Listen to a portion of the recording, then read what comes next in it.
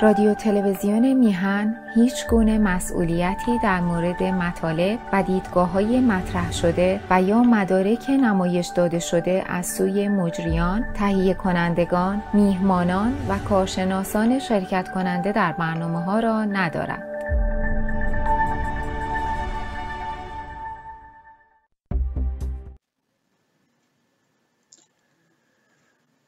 درود به همیانان ارجمند درود به یاران گرامی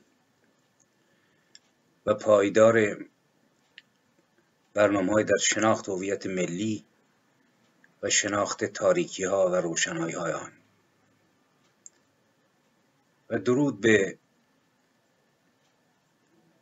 دوستان و دست اندرکاران رسانه ارجمند میهن تیوی و سپاس از تلاش های بیوقفه آنها بخصوص در این روزهای پرتلاتم که ملتی به پا خواسته است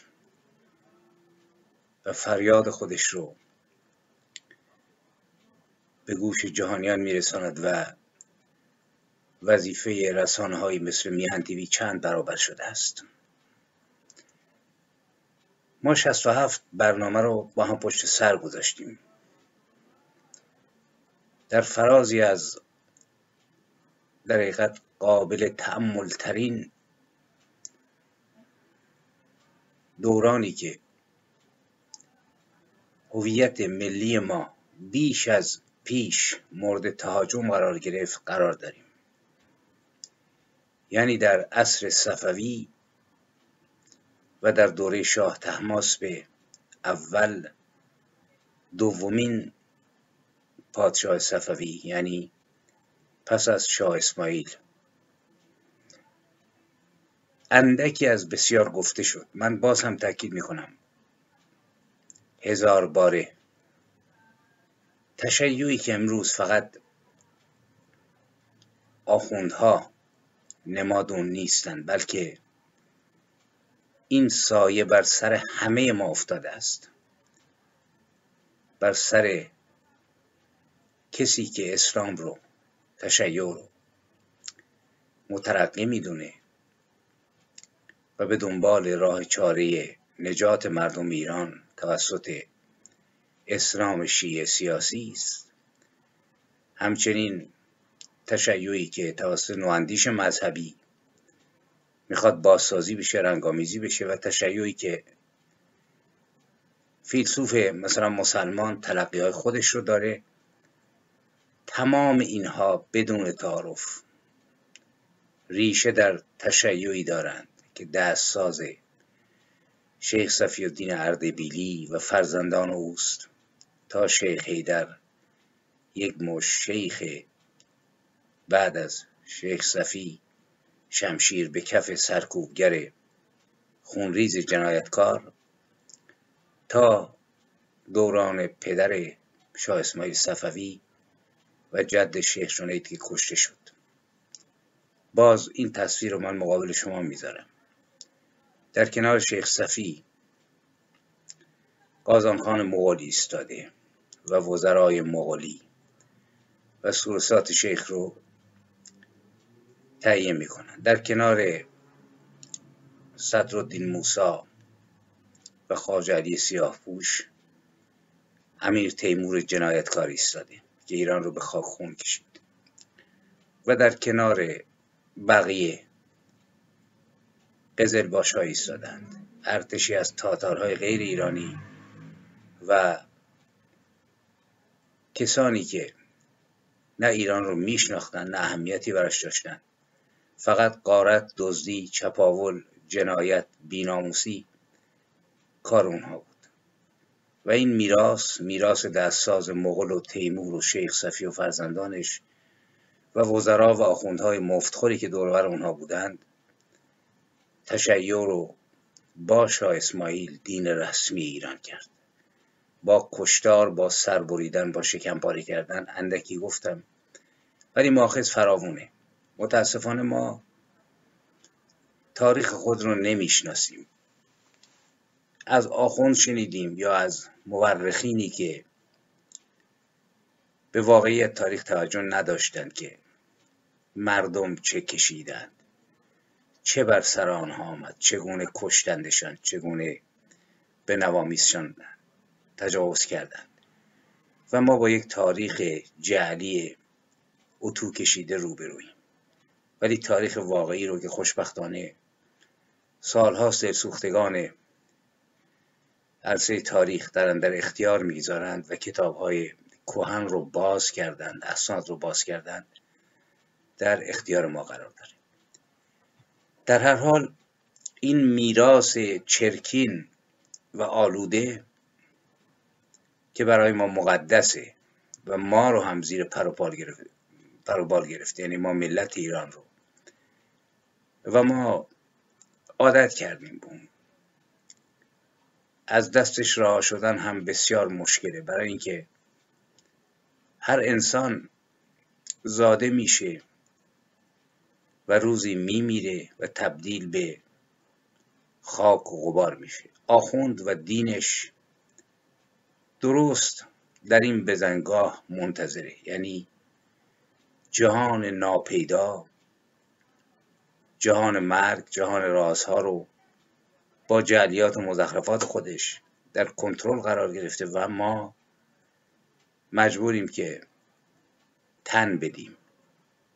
و بیرون اومدن از این دام بسیار مشکله مگر اینکه یک جدال سنگین و عظیم فرنگی شروع بشه و بزرگان اهل شعور و فکر به میدان بیان و در طول دهه ها مشکل حل بشه.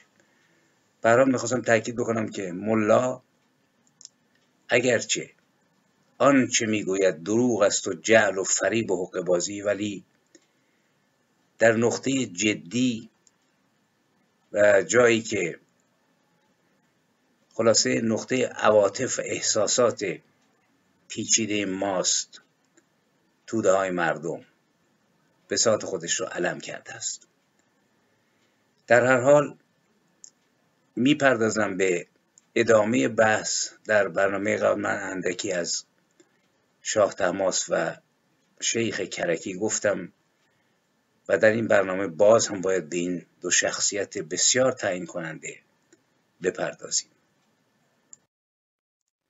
دوستان گرامی ما هر که باشیم و از هر جا باشیم از هر شهر یا هر روستا و در هر خانواده باید بدانیم که این دو شخصیت ستونهای اصلی تفکر ما رو در حیطه یک حکومت شیعی خشنی که به زور به مردم ایران تحمیل شده بود خلاصه بنا کردند.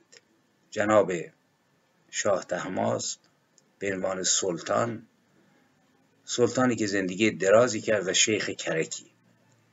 من در برنامه قبل اندکی گفتم و اشاره کردم که تاریخ نویسان معمولی رو وقتی شما برید سراغ شناخت مثلا شاه تحماس جز تعریف و تمجید جز اینکه اخلاق خوشی داشت جز اینکه اهل دین بود اهل خرد بود اهل بخشش بود چیزی نمی‌بینیم. و هرگز نمی‌پردازند به اینکه این شاه یا در حقیقت این سلطان. من کلمه شاه رو برای اینها نمی‌خوام به کار ببرم. برای اینکه کلمه شاه در ادبیات ما بخصوص در شاهنامه فردوسی یک گنجینه ملی حکایت دیگه است ما با جمشید شاه رو برویم با کیکاووس رو برویم با پادشاهانی که سیمایی دارند غیر از سلاطین پس از اسلام. پس باید برای این گفت سلطان که از سلطه میاد از زورگویی میاد و شایسته اونهاست. در برنامه قبل گفتم او دومین پادشاه از سال 930 تا 984 بر تخت سلطنت بود. تولد او در قریه شاهاباد شاهاباد از توابع اصفهان است. در یازده سالگی شاه شد بعد از مرگ پدر شاه اسماعیل و در سال 930 به تخت شاهی نشست به تخت سلطانی در حقیقت و در سال 984 مرد. 53 سال و اندی پادشاهی کرد. نظرات درباره شاه تماس کسی که بنیاد تشیع رو مستحکم کرد و پای گله های آخون رو به ایران باز کرد فراوان باید گشت تا یک تصویر واقعی از اون ببینیم. تصویر غیر آخوندی تصویری که خب آخوند طبعا شاه تماس رو خیلی زیبا ترسیم می‌کنه. زیرا پایه های آخوندیز رو او کمک کرد که در ایران سفت بشه ولی واقعیت چیست؟ ادوارد براون در جلد چهارم تاریخ ادبیاتش می‌گوید تحماس ارشد اولاد شاه اسماعیل روزی که جانشین پدر شد بیش از ده سال نداشت. مدت پنجاه و دو سال و شش ماه بر ایران حکومت کرد و در چهارده می 1576 یعنی نیمه دوم قرن 16 میلادی جان رو بدرود گفت. او رو به نام شاه دین می‌خوانند. تاریخ نویسان اون زمان من جمله در این قطعه گفتند تحماس شاه عالم که از نصرت الهی جا بعد شاه قاضی بر تخت زر گرفتی جای پدر گرفتی کردی جهان مسخر. تاریخ سلطنت شد جای پدر گرفتی که با همین شعر می‌بینیم نصرت الهی در کار شاه قاضی جنگاور بر تخت زر جهان رو مسخر کرد که چنین کاری نکرد و مدح و سناست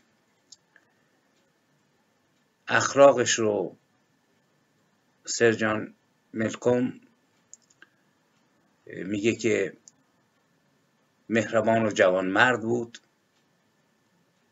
در جای دیگه در یادداشتش می نویسه به نظر می رسد که صاحب حزم و هوش بود و اگر چه خصال حسن و همت عالی خیلی امتیاز نداشته در عوض از رضائل یعنی کارهای بد و زمائم بزرگ مبرا و منزه بوده. این نظر یک مورخ خارجی دیگه است. آنتونی جنکینسن که سفیر و حامل سفارشنامه ملکه الیزابت در اون روزگار بود در نوامبر 1562 در قزوین میره به پایتخت شاه تماس. پذیرایی نمیشه چون خارجی بوده چون مسلمون نبوده. سفیر ونیز موسوم به وینتس تینو د آلساندری در سال 1571 در دربار شاه بود و شاه در سال 64 عمر یعنی سالهای آخر عمرش بود. می‌گوید قدش میانه و خوش ترکیب چهرهش پسندیده و قدری مایل به تیرگی لبانی زخیم و ریش خاکستری دارد. و اشاره می‌کنه اینجا به واقعیت وجودیش. از مورخی نیست که مقداری به عمر میره بیش از هر چیز از اخلاق او حوز و مالی خولیا قابل ملاحظه است. اندوه زدگی و نوعی جنون. علامات این حالت بسیار است. مثلا یازده سال از قصر سلطنتی بیرون نیامد و برخلاف انتظار مردم به شکار و سایر اعمال اعمال خود را سرگرم نکرد. در جای دیگر می نویسد متکبر و متنفر از جنگ و بسیار کم دل است حالا اون طرف مقابل رو ببینید که مورخانش می‌گویند بسیار شجاع بود. توجه او بیشتر نگاه داشت خاطر زنان و نگاهداری زر و سیم است. تا وضع و اجرای قوانین و بست و نشر ادارت لعیم و خسیس است و در خرید و فروش مانند تاجری حقیر زیرکی دارد. در پایان یادداشتش می‌گوید با وجود مطالبی که فوقا نوشته شد در حقیقت هم میبایستی اسباب تنفر می‌شد. احترام ملت نسبت به پادشاه به حدی است که باور نمی‌توان کرد. شما نگاه کنید. این مسئله بسیار مهمه. یعنی ما من یه پل می‌زنم از شاه به مردم. شما نگاه بکنید. مثلا در همین سال پنجاه هفت خب مردم اومدن به خیابان ها و علیه شاه شعار دادند و شاه رفت. ولی همین مردم خود ما خود بنده خود شما به نوعی ادامه مردمی بودیم که با همه خصائصی که این سفیر یاد میکنش مردم شیفته او بودن و او رو خداوار دوست داشتند ما نیز خمینی رو این چنین قبول کردیم. یعنی در حیطه جهان مذهب و رویاهای خودمون و چیزی که عادت کرده بودیم بهش در حقیقت اومدیم به خیابون ها حالا نه فقط مردم عادی شگفتا که روشن فکر منور الفکر نیروهای سیاسی و مملکت افتاد به این روزگار. یعنی فقط نقش سلاطین رو نباید دید. باید عقب ماندگی ملی و مسمومیت تاریخی رو نیز دید تا بدونیم که چه اتفاق افتاده. بعد اشاره می‌کنه به مناسبت نسب او که به علی معبود خاص ایرانیان منتهی می شود مردم او را نه مثل شاه بلکه مانند خدا پرستش می کنند باز پل بزنیم به خمینی. فرزند علی بود سید بود تصویرش در ماه دیده شد. ادامه صحبت و میگه که و مثلی چند از اقسام این تعظیم و تبجیل یا عبادت و پرستش را که به عوام الناس انحصار نداشته و در میان اعضای خانواده سلطنتی و درباریان و سکنه دورترین نقطه مملکت نیز متداول و مرسوم بوده است. یعنی فقط پرستش شاه ویژه درباریان نبوده. در دورترین دهات نیز شما نگاه بکنید مملکتی که به ضرب تیر شاه اسماعیل سنی بوده شیعه شده. بعد از ده 20 سال با چنین شاهی این چنین برخورد میشه. یکی از کارهای زمان سلطنت این پادشاه تخفیف مالیات سنگینی است که بر رعایا تحمیل گشته به سفیر ونیز سبب آن را اعتقاد به خواب می‌دید. این شاه با خواب تصمیمات رو می‌گیره. می‌گوید اعتقاد شاه تماس به خواب شبی ملائکه حلقوم او را فشرده و به وی خطاب کردند آیا از پادشاهی که عاقل لقب دارد و از دودمان علی است سزاوار است که خانه ملت را خراب کند تا خزانه خود را آباد سازد. بعد شاه امر داد که مردم از مالیات معاف باشند. ممکن ظاهرا کار قشنگی باشه این. ممنوعیت مردم از مالیات ولی باید دید. همین شاه می‌تونه خواب دیگری ببینه چنانکه همین کارا رو کرده. مالیات رو دو برابر بکنه برحال خود شاه تماس میز در یادداشتهایی که نوشته از خوابهاش صحبت کرده. مثلا جنگ هایی که می‌کرده. میگه علی به خوابش میومده و میگه برو به جنگ ازبکان رو خواهی کوبید و جنگ هرات نیز باز خوابی است که علی به خوابش اومده و دستور داده که به جنگ برود و خود شاه تماس میگه که اعتقاد این بنده ضعیف تحماس به صفوی الموسوی الحسینی این است که هر کس که حضرت امیرالمؤمنین را در خواب ببیند آنچه ایشان فرمایند همان می شود برحال تو این زمینه فراوونه و در 20 سالگی دو خواب پی در پی می‌بینه که کارهای بدش رو ترک می‌کنه و از شراب و تمام کارهایی که می‌کرد. پسر بارگی و زن بارگی توبه می‌کنه شرابخانه ها رو میبنده بورخانه ها و بیت اللطفا مراکز خلاص خوشگذرانی رو میبنده و تبدیل میشه به یک عابد و طائب و مسلمان. و این توبه رو تا پایان عمرش ادامه میده. مسائل دیگه هم که رخ میده مثلا لشکرکشی دولت عثمانی. به ایران و باریدن برف و یخزدگی ارتش عثمانی رو از امدادهای غیبی می‌دونه و بر این روال هست که این شاه در سلطنت می‌کنه. ولی فقط داستان این نیست. این شاهی که خیلی خواب نما بود و خلاصه مردم میپرستیدنش توجه من روی این نکته تاکید می‌کنم که ما مسمومیت تاریخیمون به طور قلیز از همین زمان شروع شد. و همینجا اشاره بکنم وقتی ما می‌خوایم نقد بکنیم به خصوص دوره پهلوی رو.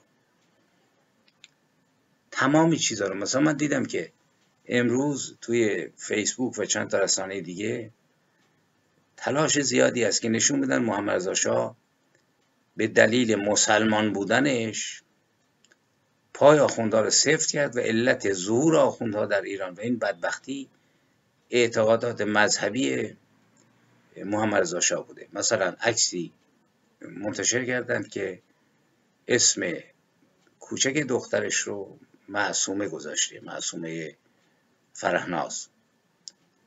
و انتقاد که ایشون مسلمون بود به همین دلیل هم پای آخونده رو صرف کرد. ببینید سال چهل و دو چهل و سه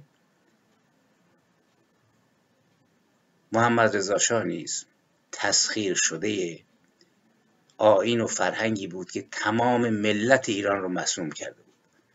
و او در چنین جامعه ای که ده سال بعد خمینی ظهور می‌کنه و عکسش رو در ماه می‌بینند و تمام گروه های سیاسی میرن دنبالش و روشنفکران مقاله می نویسند خوش آمد میگن ضد امپریالیسم می‌دونند نمی‌تونست جز این اسمی بگذارد. برای اینکه در مملکتی داشت حکومت می‌کرد که مسمومیت شیعی داشت و خود او نیز متاسفانه شاهی که در غرب تحصیل کرده بود این اعتقادات رو کمابیش داشت. اسم خودش نیز رضا بود اسم پدرش رضا بود. اسم پدرش رضاست که شخصیت بزرگ مذهبی ایران هست و طبیعی است که اسم دخترش رو بذاره معصومه. و سوال اینه خب او اسم دختر خودش رو گذاشت معصومه و ما توجه نداریم که در چنین مملکتی شاه نیز اسیر به نوعی اسیر تفکراتی است که ملتی رو در خود گرفته و اون نیز به این توجه داره. ولی اسم غلام رو کی رو ماها گذاشت؟ پدران ما چطور اسم ما رو علی و محمد و حسن و حسین گذاشتن؟ اینا که دستور شاه نبود. اسم بزرگترین نویسنده سرزمین ما که در غربت فوت کرد دکتر غلام حسین ساعدی است. یعنی غلام حسین ابن علی.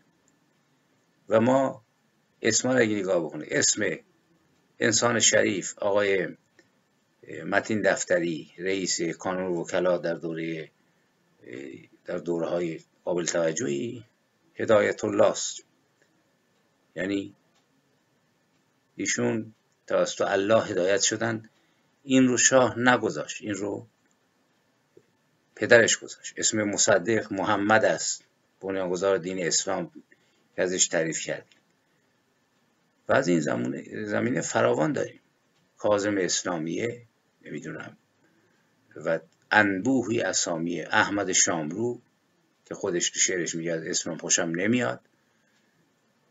تو این مملکت الان هست که نقد شروع شده به دلیل کسافتکاری های آخوندها. در سالهای گذشته در مدار جاذبه این چنین نبود. و در هر حال برگردیم به خط اصلی بحث. شاه تماس رو می‌خوایم بشناسیم. شاه تماس علا رقم خوابنما شدن در بیرحمی و قدرت طلبی کوتاهی نمی‌کرد. سه برادر کوچکتر از خودش داشت. سام که در شعر نیز اهل ذوق بود اهل تذکر نویسی بود بهرام و القاس. از این سه برادر اولی و سومی بر علیه او شوریدند و سام رو به زندان افکند و در زندان زندگیش ادامه یافت تا اینکه بعد از مرگ شاه تماس توسط جانشین او به قتل رسید شاه اسماعیل دوم.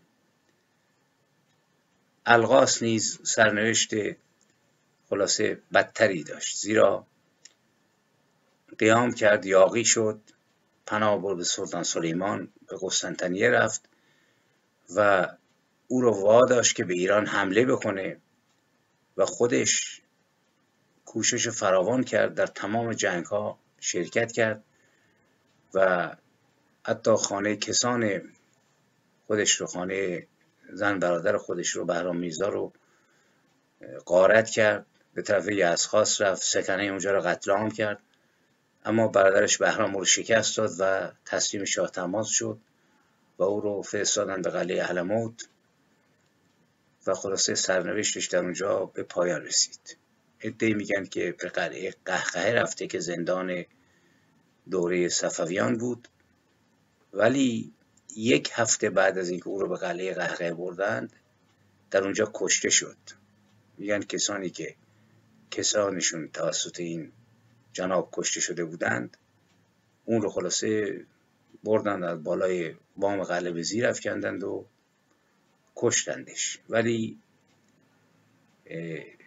خلاصه روایتی است که به دستور شاه کلک این برادر رو کندند و بهرامشاه نیز در سی و سالگی فوت کرد و خیال شاه تماس بعد برادراش راحت شد. یعنی این جناب شاه مسلمان بنیانگذار تشیع چنین فرد رحیمی هم نبود.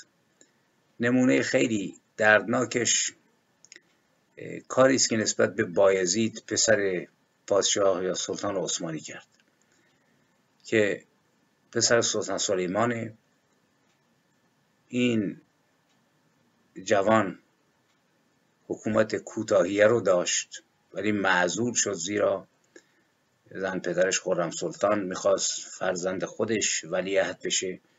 پشت سرش بدگویی کرد و این شورید و پناه برد به با چهار پسرش به شاه تحماس به صفوی. ولی هیئتی از طرف پادشاه عثمانی با پول فراوان هزاران سکه طلا برای سلطان جناب شاه تماس فرستادند که او رو تحویل بده و او تحویل داد و کسانی که تحویل گرفتن سر اونها رو بریدند و این سرهای بریده رو فرستادن برای جناب پادشاه عثمانی.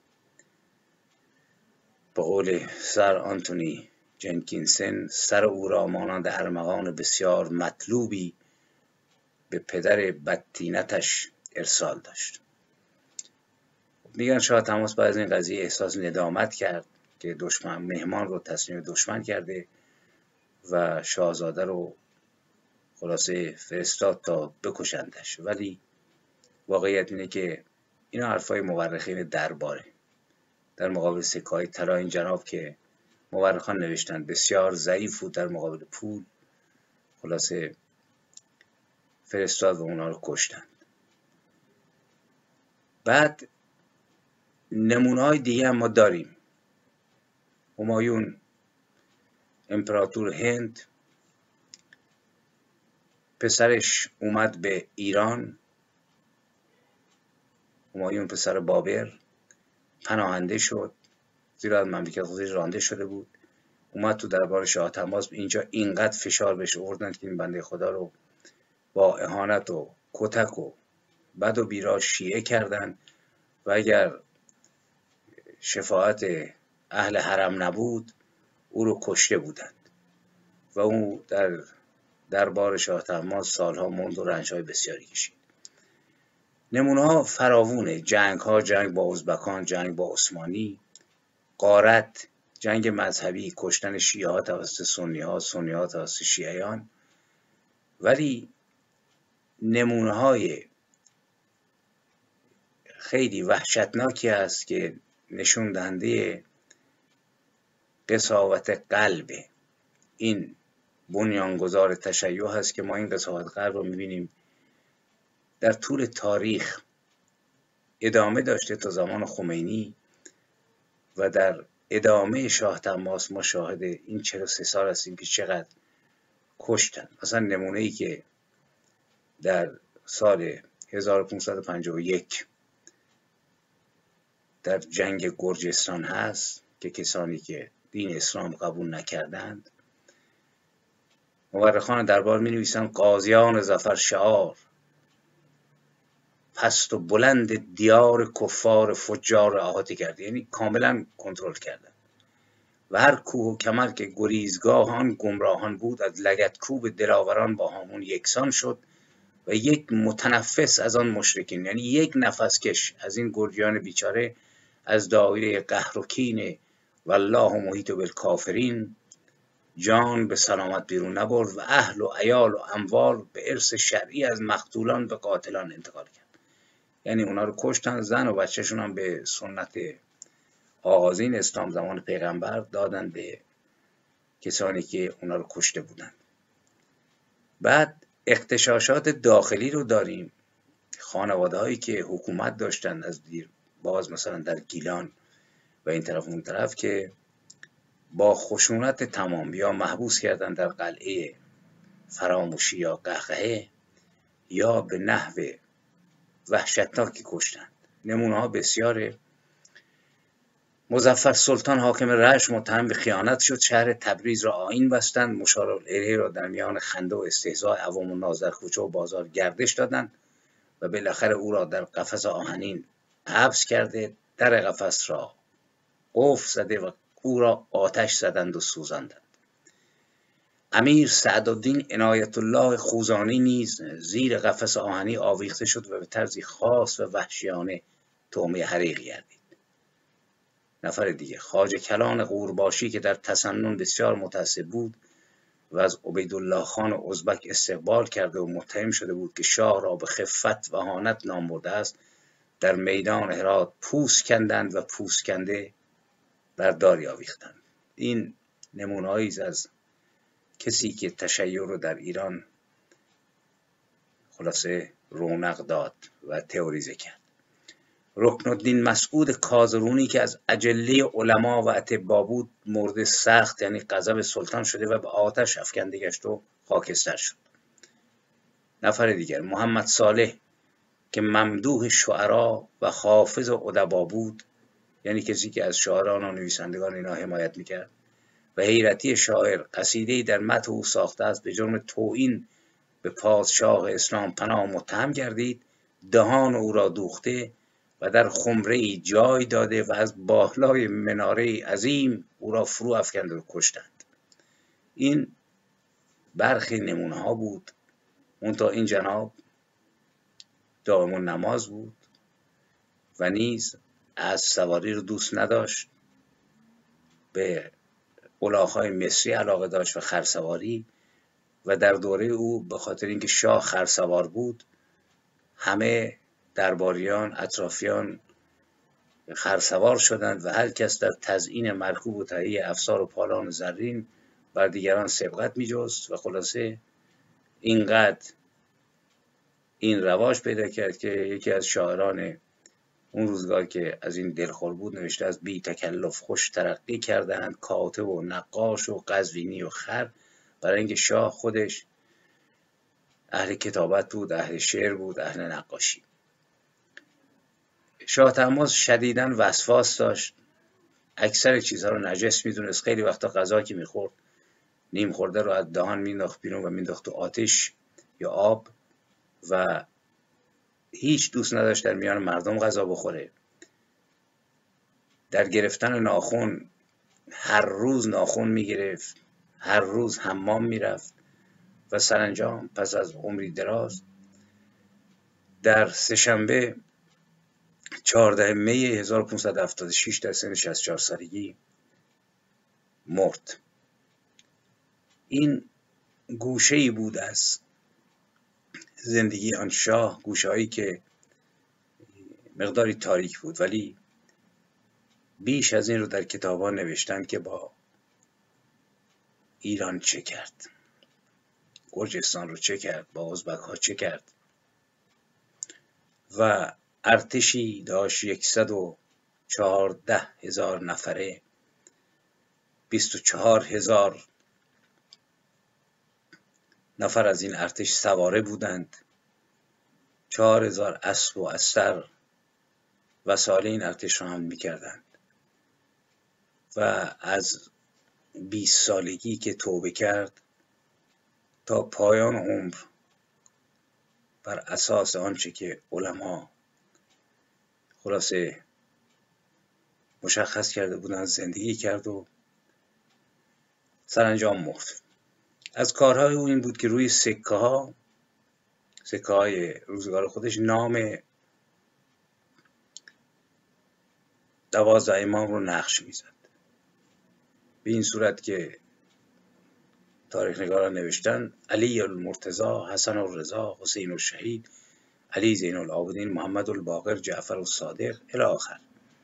این وضع سکه ها بود و نیز اسم خودش رو از سلطان العادل الکامل الهادی الوالی ابو مظفر شاه تماس بهادرخان صفوی خلد الله تعالی خداوند رو به بهش برسد و از این نوع چیزها و نیز روی مهرش نوشته بود سلطان کشور دین تحماسب شاه عادل و بنده شاه ولایت یعنی علی ابن ابی طالب و حاشیه مهرش نیز اسامی امامان شیعه بود. ببینید این یکی از شخصیت است که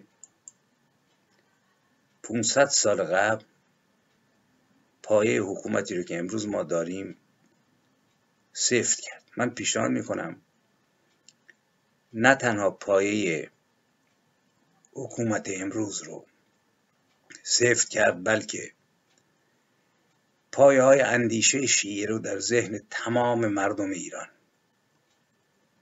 سفت کرد و این یکی از مهمترین چیز هاست. یعنی همونطوری که بسیاری از کسانی که در سال 57 من اینو تاکید می‌کنم برویم به سال 56 57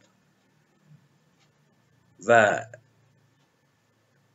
در رسانه ها میشه در اسناد اپوزیسیون مجموعی از مقالات اعلامی ها اطلاعی ها عکس رو که در اون سالها انبار شده دید. در اون سالها 90 95 درصد از سازمان های سیاسی ما از چپ و راست و میانه و ملی و مذهبی و نیز منور الفکران روشنفکران جامعه به دنبال خمینی راه افتادند. و نیز مردم. بریم به اون سالها. من قشنگ یادمه. کسانی که همسن سال منند یا چند سالی کوچکتر کسانی که موقع 14 15 سال داشتن من موقع 23 4 سال داشتم. یادمه که در ایران چه خبر بود. یک سره پشت سر خمینی وجه سلبی مرگ بر شاه بود وجه اثباتی درود بر خمینی. خمینی آمد. و ما بعد از 43 سال وقتی می‌خوایم نقد بکنیم آری باید نقد کرد. شاهان رو باید نقد کرد اشتباهاتشون رو استبدادشون رو. ولی یک بخش از قضیه هست. بخش عظیمش رو ما نمی‌بینیم یا نمی‌خوایم ببینیم. نقد خود. ما آلوده بودیم به این تفکر شاه تحماسبی و تفکر کرکی و علامه هلی و امثال هم. آلوده کامل. اگر آلوده نبودیم ایران به چنین روزگاری دچار نمی‌شد و نیروهای سیاسی و روشنفکران میفهمیدند که خمینی خواهد آمد و روزگار همه رو سیاه خواهد کرد و اندیشه های شاه تماز و کرکی و علامه هلی و شیخ بهایی و مجلسی و خروارها آخونده حق باز دروغگوی دجال رو بر سر مردم ایران فرو خواهند ریخت. حالا یکی از این حضراتی که بسیار مهمی یعنی در کنار شاه تماس باید او رو به خوبی شناخت. فقیه نامدار و برجسته است که باید اندیشه سیاسی اندیشه ایدولوژی اندیشه فلسفیش رو شناخت. قبلا اشاره اندکی من کردم. این جناب نورالدین ابن حسن ابن حسین ابن عبدالعالی کرکی که لقبش از محقق ثانی و لقبش در منابع دوره صفوی خاتم المجتهدین. در قرن نهم هجری 866 یعنی نیمه دوم قرن نهم در منطقه جبل عامل در روستایی به نام کرک متولد شد. ببینید این کسی که در حقیقت که از ستونهای اصلی تشیع هست ایرانی نیست. اگر که تکرار میشه که آخوندها اجنبی هند منظوری نیست که مثلا فلان آخوند تو ایران متولد نشده. اجنبی موقعی است که ما تفکرمون با هویت ایرانی آمیخته نیست. و حتی اگر در این سرزمین متولد شده باشیم. ولی اگر تفکرمون با هویت ایرانی آمیخته باشه و اون رو دوست بداریم حتی در اینجا متولد نشده باشیم می‌توان او رو از ایران دانست. اینجاست که من مقوله ضد عرب بودن رو واقعا مسخره می‌دونم. کسانی که به دلیل حمله اعراب قرن اول هجری به ایران. گاه می‌بینم که به عرب های ایرانی شده در ایران متولد شده. شجاع دل سوخته من در دانشکده با شماری از اونها از بچه آواز و احفاظ آبادان همکلاس بودم. آدم های بسیار ایران دوست و شریف. با هویت ایرانی. الان هم ما می‌بینیم که زیر بار ستم هستند و بعد از ماجرای آبادان عکس های اونها رو دیدیم و اتحادشون رو با دورهای بختیاری و اینکه ایرانی هستند. ولی این آخوندها پدران فکری و هویتیشون هیچ کدوم ایرانی نیستند. از جبل عامل میاند و جبل عامل در این هنگام یکی از حوزه های شیعه غیر ایرانی بود چون ایران تا زمان شاه اسماعیل که یک باریکه از شیعه در آن وجود داشت.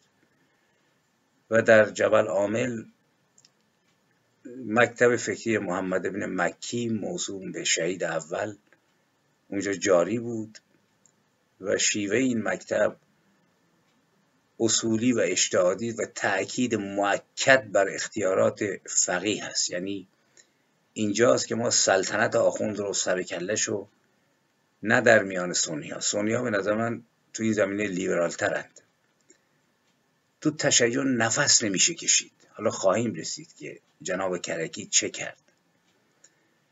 و در همون منطقه جبل عامل این آخوندهای شیعه با علمای سنی چندان نمی‌تونستند با مسالمت زندگی بکنند. در هر حال کرکی اول فقه شیعه رو آموخت.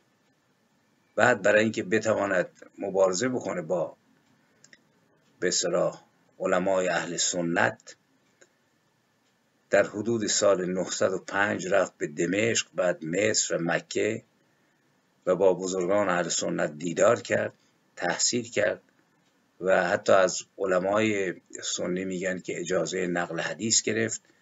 بعد مجددا به سوریه بازگشت به سوریه کنونی به شام.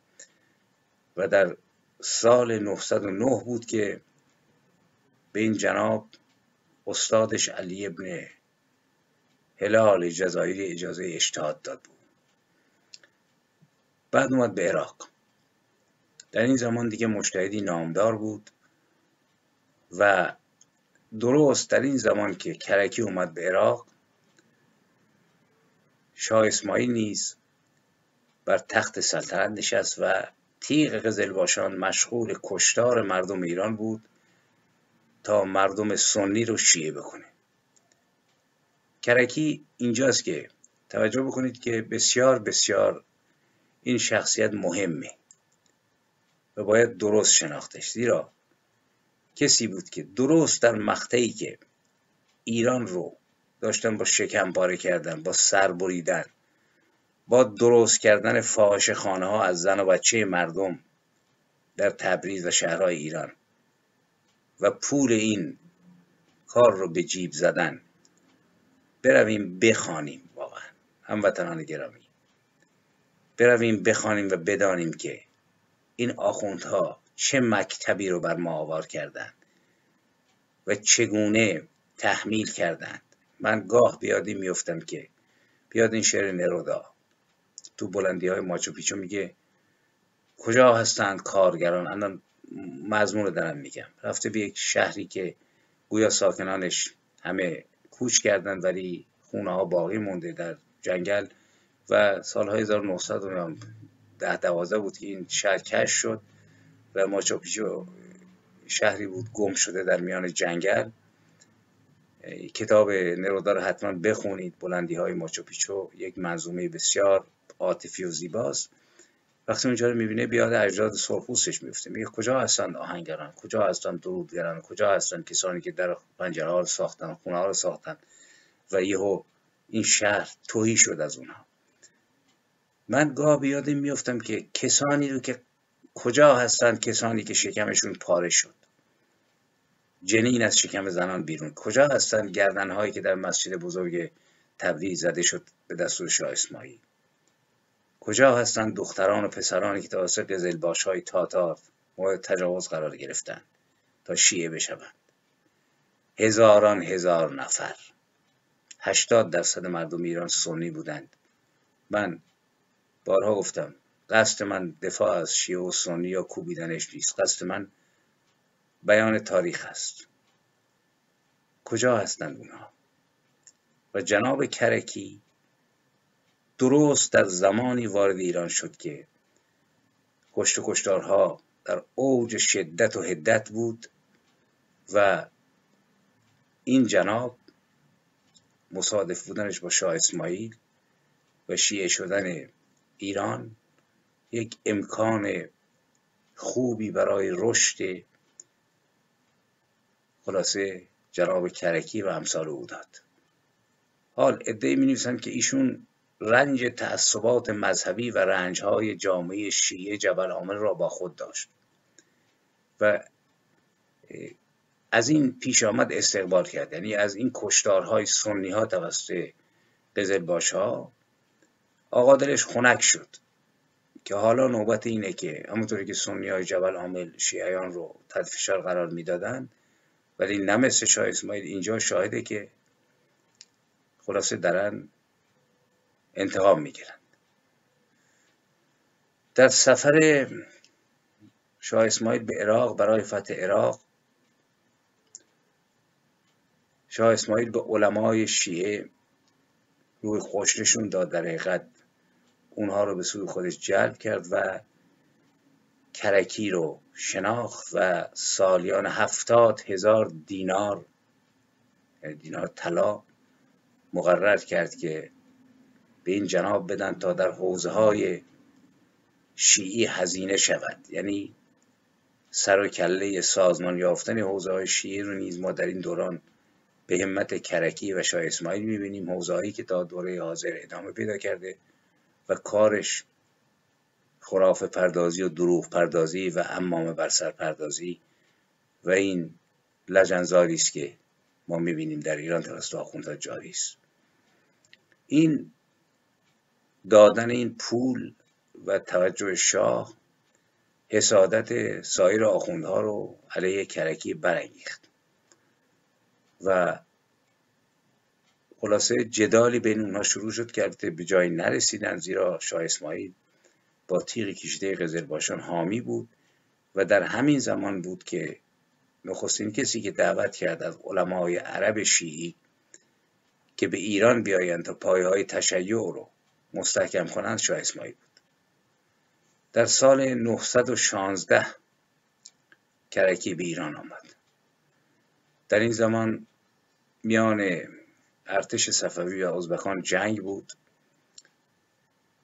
قزل باشا پیروز شدند و هرات مرکز فرهنگی سیاسی شرق ایران فتح شد و در همین دوران بود که قزلباشان به دستور شاه اسماعیل سعدالدین تفتازانی عالم بزرگ شهر هرات و شیخ الاسلام دولت تیموری رو به دلیل سنی بودن و اینکه حاضر نشست شیعه بشود به وضع فجیعی به قتل رساندند و کرکی موقعی که وارد هرات شد مصادف بود به با کشتار این تفتازانی که در اسنادی که در دوره خمینی نوشته شده اشاره شده که کرکی براشفت و متاسف شد ولی بعید به نظر می‌رسیم. برای اینکه او خود مشعوف بود از اینکه یک دولت شیعی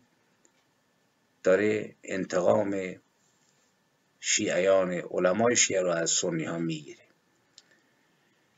برای این جناب کرکی بعد از اون مهمترین کار و اولین کارش این بود که با ایجاد حوزه های علمیه در شهرهای بزرگی مثل اصفهان، قزوین و کاشان شروع کرد به تربیت آخوند و طلبه شیعه که در اون موقع رواج نداشت در ایران. و خودش ناظر شد بر امور شرعی و در حقیقت به عنوان سفیر شاه اسماعیل برای گسترش حوزه‌های علمیه به بسیاری از شهرهای ایران سفر کرد.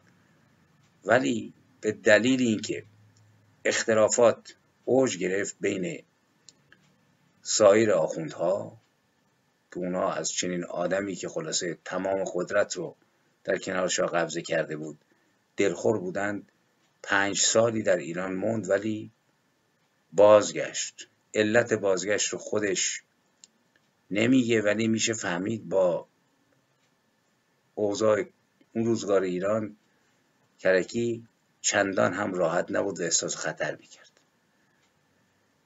یکی از کارهایی که کرکی کرد در کوشش کردن بود برای اینکه این شیوخ صفوی رو سران قزلباش رو و نیز کسانی که از خانقاه ها برخواسته بودند و به نوعی رهبری رو در دست داشتند کنار بزنه. زیرا جا انداختن تشیع خلاصه آخوندی و فقیهانه در تضاد بود با اون نحوه تفکری که از زمان شیخ صفی الدین و بعدش تا زمان شیخ شنید و شیخ حیدر خلاصه ادامه یافته بود و قدرت در دست اونها بود. وقتی که تشیع و مذهب رسمی ایران اعلام کرد شاه اسماعیل و همه به تبعیت مجبور شدند. یک دوره طولانی از آشفتگی ها که در ایران شروع شده بود به ضرب و شمشیر پایان یافت اینجا بود که به خصوص با تضاد دولت عثمانی دولت سنی و دولت صفوی دولت شیعه نیازمند این بود که خلاصه سامان سازمانی به تشیع داده بشه. این سامان سازمان اگرچه در عهد شاه اسماعیل شروع شد که شاه بود و مرشد کامل بود و قزل ها قدرت فراوان داشتن ولی در زمان شاه تماس بود که کرکی موفق شد با کمک او که هم متدین بود هم کاملا سر به پای کرکی میسود توانست که اقتدار کافی پیدا کنه. برای اینکه خلاصه در کنار علمایی مثل محقق کرکی و در کنار کرکی شیخ علی منشار حسین ابن عبدالسمد پدر شیخ بهایی اینا همه غیر ایرانی بودند آخوندهای شیعی که به ایران اومدند و سکانهای قدرت مذهبی رو در دست گرفتند و در دوره طولانی سلطنت شاه تماس موفق شدند که نقش فکری و سیاسی خودشون رو خلاصه ایفا بکنند یکی از کارهایی که اینها تو این دوران کردند ایفای نقش سیاسی بود و پس زدن قزلباش ها زیرا قزلباش ها که تا اون موقع تا زمان شاه اسماعیل اطاعت مرشد کامل قدرت کافی به اونها می‌داد در تضاد با فقها و آخوندهایی در که از خارج از ایران اومده بودند و قدرت گرفتن آخوندها در دربار موقعیت قزلباشا رو تضعیف می‌کرد و گاه نیز این کار به قتل برخی آخوندها می‌کشید که میگن یکی از دلایل بازگشت کرکی نیز ترس از کشته شدن توسط قزلباشا بود. برگشت به عراق مشغول تعلیف شد و کار بزرگ به قول معروف علمی خود رو به قول آخونده که باید گشت اول علم رو تعریف کرد که دید آخوند چه کار علمی می‌کنه. کتاب جامع المقاصد رو در این دوره تدوین کرد و این کار در دوره شاه تماس ادامه یافت ولی هیچ وقت نتونست این اثر رو به پایان ببره. در این دوره ما شاهدیم که اگرچه کرکی از ایران خارج شد ولی هیچ انتقاد و مخالفتی با دولت صفوی نداره و کتاب جامع المقاصد رو به پادشاه صفوی تقدیم می‌کنه و بعد از مرگ شاه اسماعیل هست که شاه تحماس در 935 میاد به عراق. کرکی رو مجددا با حکمی تاریخی به ایران دعوت می‌کنه. میگن حکم رو خود کرکی نوشته. و شاه اینقدر تسلیم اون بود و اون رو در حقیقت برتر می‌دونه اسم نماینده امام زمان که اون رو امضا می‌کنه. حکم خیلی جالبه. بسم الله الرحمن الرحیم. چون از سودای حقیقت انتهای کلام امام صادق که انظرو الی من کان منکم روی حدیثنا و نظر فی حلالنا و حرامنا الی آخر میگه که چون امام جعفر صادق فرموده که باید بیز به سراغ کسانی که حدیث رو می‌دونن و حلال حرام رو می‌دونن همه احکام رو می‌دونن لایه و واضح است که مخالفت حکم مشتهدین که حافظان شرع سید المرسلینند با شرک در یک درجه است. کلک کنده است. یعنی هر کس از فرمان آخوندی مشتهدی سرپیچی بکنه مثل مشرک مشرک هم باید کشتش. پس هر که مخالفت حکم خاتم المجتهدین وارث علوم سید المرسلین نایب الائمه المعصومین لازاده که اسم اولیا بکند و در مقام مطابقت نباشد بیشاب ملعون و در این آستان ملک آشیان مطرود است و به سیاسات عظیمه و تعدیبات بلیغه مؤاخذه خواهد شد. یعنی همون آتش زدن و انداختن تو خمره کردن و از مناره انداختن. این فرمان رو در محرم سال 936 شاه, شاه تماز می نویسه و کسانی که تحقیق کردن میگن چون مد کاملا فقهی است و شاه این سواد فقیهانه رو نداشت خود کرکی اون رو نوشته به عنوان شرایط بازگشت یعنی تمام قدرت ها رو طلب کرده و شاه تماس بدون چون چرایی رو امضا کرده. اینجا سلطان و شیخ در کنار هم قرار می‌گیرند و متن این حکم اگه دقت بکنیم نشون دهنده اینه که کرکی از دشمنان خودش میترسه و یک خطوطی رو گذاشته سطوری رو که هر کس با خاتمان مشتهدین مخالفتی بکنه مشرک است و خلاصه تحت تعدیبات عظیمه. یعنی مرگ قرار خواهد گرفت. یعنی خطاب به بزرگان قزلباش هست که ضد آخوندهای شیعه بودند و در این حکم موقعیت برتر علما روشن است و مخالفان مشرکند و باید کشته شوند. به حال کرکی به ایران برمیگرده. فعالیتاش بسیار بسیار گسترده است. واقعا در یک برنامه نمیشه کارهایی که این ملای خلاصه تئوریزه کنه تشیع انجام داد بگوییم.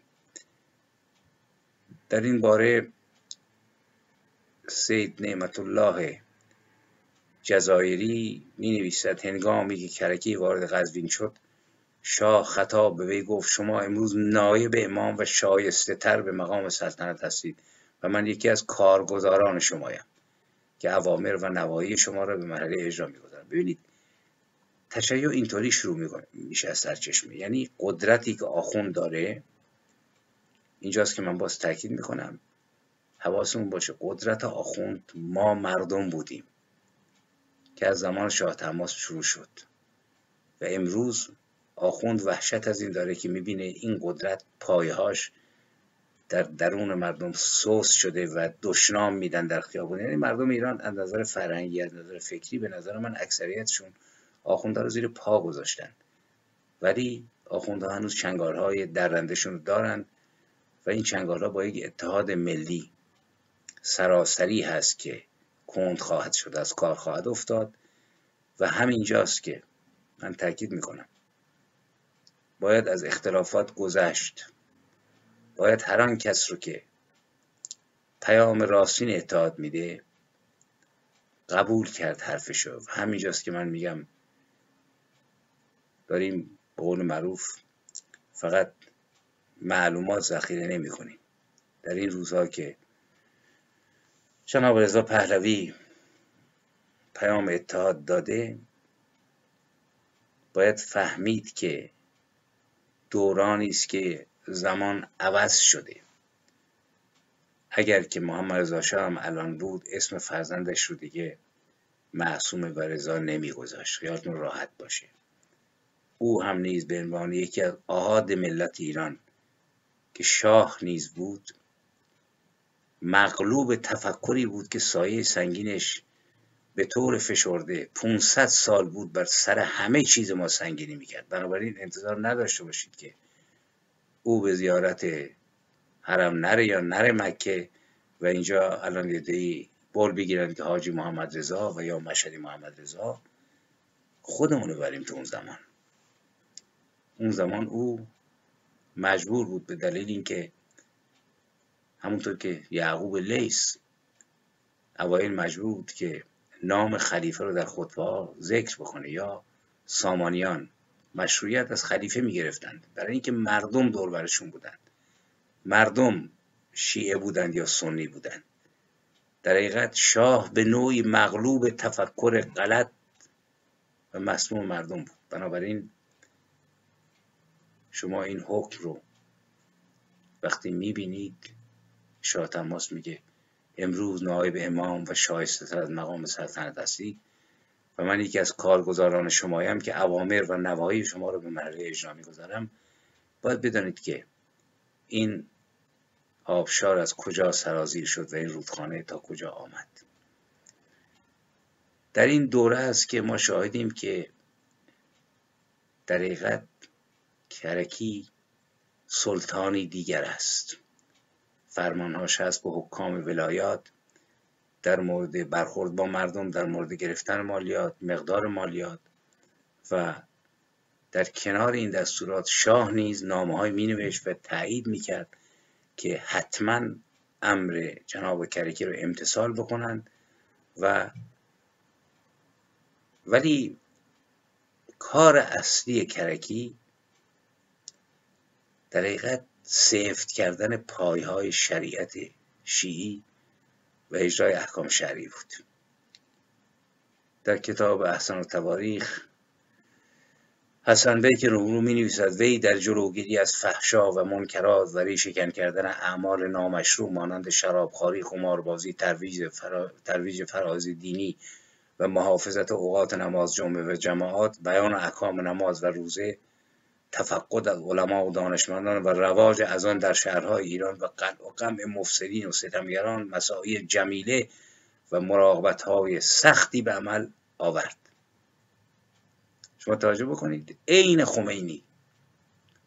یعنی شما روزهای اول انقلاب یادتون باشه یه دو سه ماه که گذشت از هجاب بر سر زنا کردن بستن در شهر نو کشتن تنفروشان بیچاره. شلاق زدن به اصطلاح مشروب خاران واقعا آدم می‌بینه که دوباره جناب کرکی ظهور کرده. من یادمه که یک یک ماهی بود بعد از انقلاب یکی دو ماه که به ما گفتند که من در مشهد بودم که از معمولان زندان شکایت نکنید. اون موقع دستور تشکیلاتی بود بروید و از معمولین ساواک شکایت بکنید. کسانی که تو ساواک بودن که اونها مجازات بشن.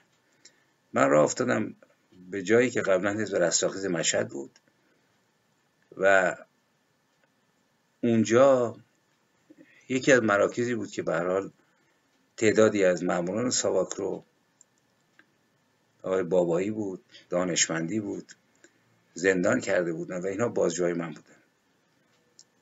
من رفتم اونجا به یک حاجی که در زندان با ما هم بند بود. اونم دستگیر شده بود. انگشتر فروش به اسم حاجی شالچی مردی لاغر بود سیگاری و عصبی مزاج. مسئول اینجا بود. هنوز رابطه بین مجاهد و نمی‌دونم فدایی و کمیته اینا بد نشده بود. تا ما وارد شدیم بلند شد سلام علیک و روبوسی و خوش آمدی و خلاص اون موقع گویا همه با هم بودن. بعد من دیدم صدای فریاد از سالن کناری میاد. گفتم حاجا چی شده؟ گفت که چی بیا ببین پدر سوخته مشروب خورده و داره حد می‌خوره. من رفتم دیدم یک بیچاره یک جوانی رو خوابوندن به رو و روی تخت دست پاش بسته و با کابل برقی که واقعا بسیار کلوف بود روی پشت طرف آنچنان کوبیدن که این طرف تقریبا نیمه بیهوشه و از ضرب شلاخاست که دوباره یه فریادی می‌کشه و تمام پشتش خونین و مالین بود. بعد من یه مرتبه تو ذهنم گفتم من کی می‌خوام شکایت بکنم؟ به کی؟ در ساواک شاه اینجوری شلاق نمی‌زدن. بیرحمانه. روی سلسله اعصاب سوزون فقرات. آری دو سه روز من خودم روزی یه ساعت دو ساعت با فواصل. کف پام شلاق خورد ولی بعد حساب کتابی بود. فقط گفتم چه خبر؟ گفت چی؟ اینجا بازجوهای ساواک دستگیرن و ما در این پردازش تکمیل می‌کنیم که اعدام بکنیم. تو شکایتی نداری؟ گفتم نه من با من کاری نکردم با اینکه خب یه لطماتی زده بودن ولی اصلا شکایتی چی؟ بعد در رو باز کرد من رفتم دیدم واقعا متاثر شدم. ریشه بلند لاغر عصبی و مدت ها بعدم اعدامش کردن. ولی شما نگاه بکنید وقتی کرکی میاد سر کار وضعی پیدا میشه که فضای ساواک شاه دموکراتیک است پردوش افسانه سازی فراوان کردن که یک تن نمی‌دونم ناخون از فلان جا خونه صحنه زیبایی آوردن. این خبرها نبود. بازجویی که تموم می‌شد دکتر میومد پا رو معاینه می‌کرد. برای اینکه یک سیستم سلطنتی دنبال این نبود که مثلا به خاطر الله شلاق بزنه به طرفیه. دنبال کشف رازهایی بود که نیاز داشت بدونه کی داره چیکار می‌کنه. ولی این ور به خاطر خوردن یه بطری آبجو طرف لط و پار کرده بودن.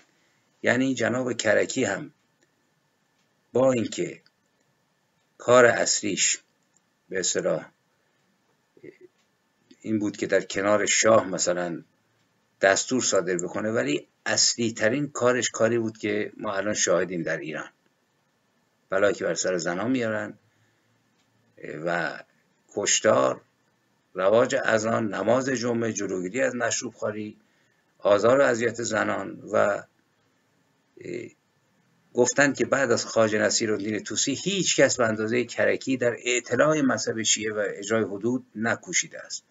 همین کارها اینقدر مسئله ایجاد کرد که عده خواستن اون رو بکشند توی دربار.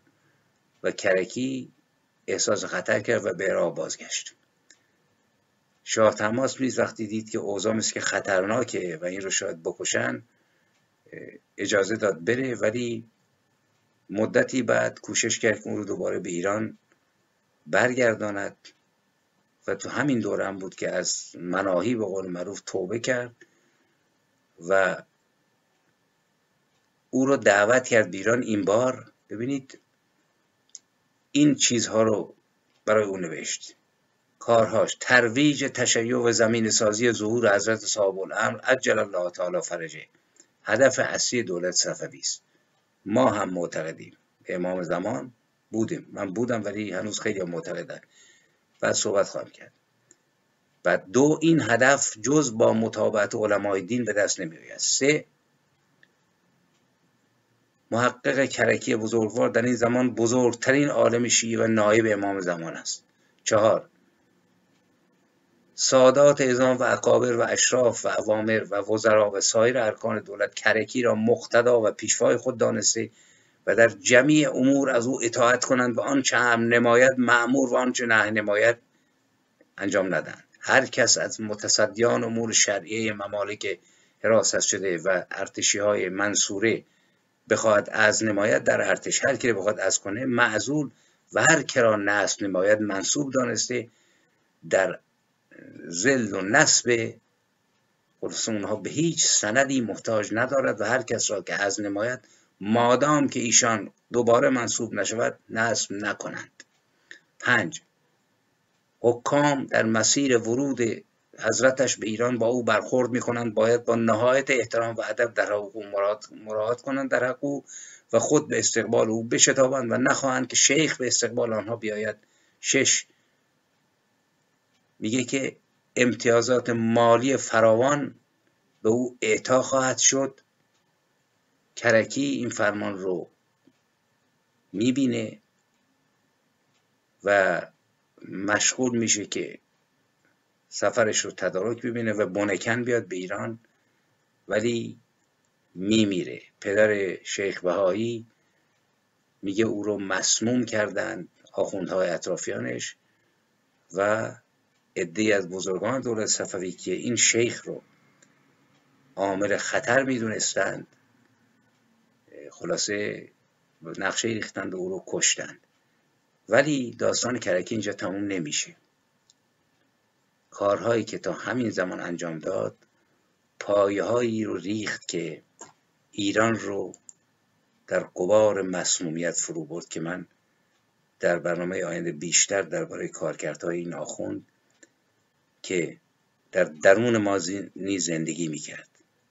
مثل آخوندهایی که معتقد بودیم بهشون. تمام آیت الله تخم ترکه کرکی هستند. تمام کسانی که دنبال اسلام سیاسی هستند. تهش جیر خار کرکی هستند. تئوری امام زمان که بنده و شما درست نکردیم. کرکی درست کرده و هنوز هم می‌بینیم که آقا لیست شهدا رو میدن دم چایی که قراره یه بچه بیاد بیرون و بشریت رو نجات بده. واقعا اینها تو قرن بیستم یا بیست یکم زندگی می‌کنند یا چهاردهم یا در قرون وسطا.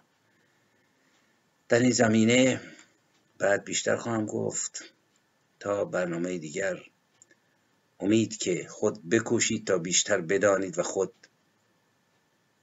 پراکننده روشنایی باشید و خرد و شهامت خلاصه شک کردن و دانستن رو از خود به دیگران نیز منتقل کنید. پیروز باشید و تا دیدار دیگر شاد و خلاصه رزمنده و پرتوان باشید و بمانید.